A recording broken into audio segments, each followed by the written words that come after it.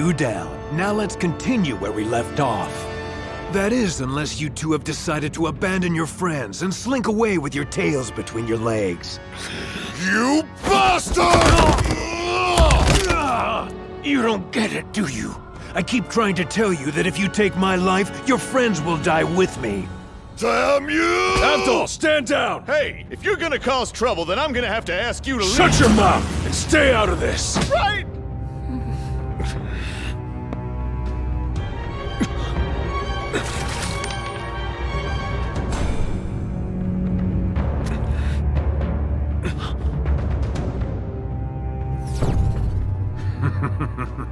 You've noticed it too late, Jotaro. What? Something's wrong with the glass? This is the reason the coin didn't make the boost spill over. If you look at the bottom of the glass, you'll see that there's a tiny bit of chocolate on it. He must have found a way to stick it on when he was inspecting the glass and coins at the very beginning of the game.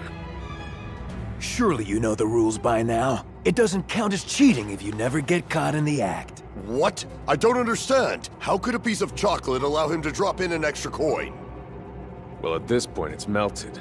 But it used to be a solid chunk stuck to the bottom of the glass. Just enough to slightly tilt the glass, but not quite enough for us to notice the change. Once the chocolate started to melt, the glass came to be level with the table. With the glass leveled out, the boost began to settle, which made enough room for another coin. What, what the hell? But, but that doesn't make any sense. How could he have known the chocolate would melt right when he needed it to? He influenced things by using the sun. It slipped my notice.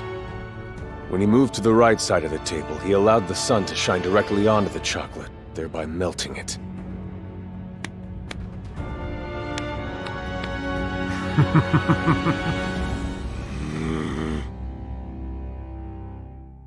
All right. D'Arby, get your cards, because we're playing my game. Hope you're ready for some poker. Say what? Jotaro!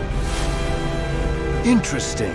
You couldn't have possibly known this, but poker is my absolute favorite game. Are you out of your mind? You're playing poker with a man who outsmarted Mr. Joestar. It's too dangerous. Yeah, I know.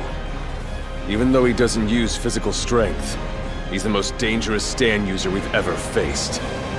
So now...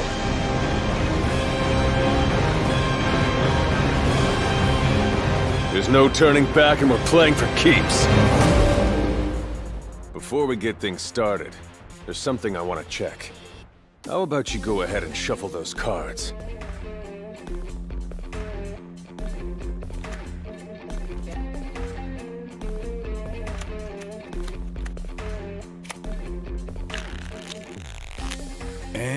Shuffled they are.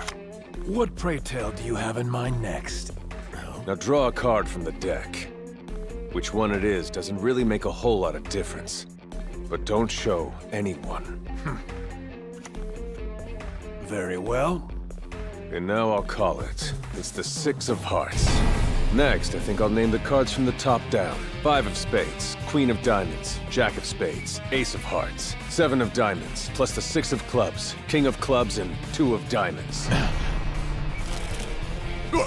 He guessed them all!